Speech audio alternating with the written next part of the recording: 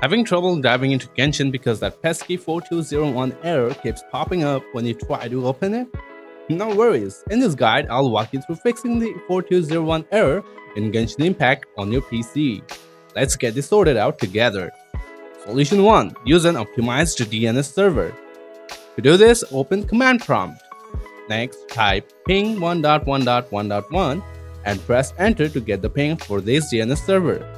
Then type ping 8.8.8.8 to get the ping for this DNS server.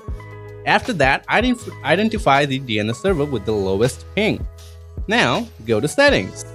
And then click on network and internet and then on ethernet.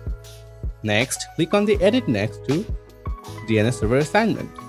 Now, select manual from here and turn on IPv4 if it's off. Then add the DNS server with the lowest ping to preferred DNS.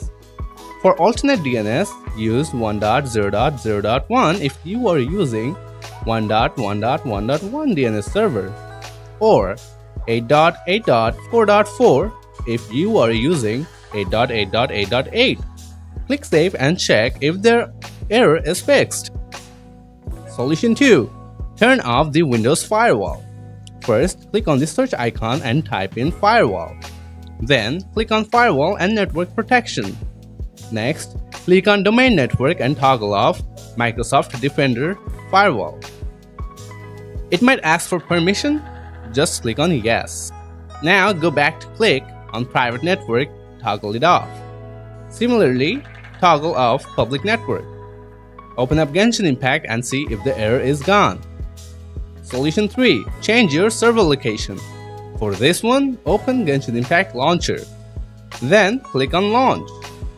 Before entering the game, choose a different server from Europe, America, Asia, Taiwan, Hong Kong, or Macau. Next, click Confirm to switch. After that, hit Start Game and then click Anywhere to begin. You should be able to launch the game without encountering the error. That's how you fix the 4201 error in Genshin Impact on your computer. If this guide helped you out, don't forget to hit the like button. If you're still facing issues, drop a comment below and I'll assist you further. Thanks for watching.